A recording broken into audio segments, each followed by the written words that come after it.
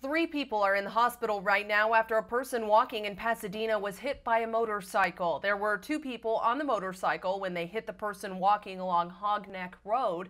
The man walking and the man driving the motorcycle both suffered critical, possibly life-threatening injuries. The woman who was riding on the motorcycle went to shock trauma with serious but not life-threatening injuries.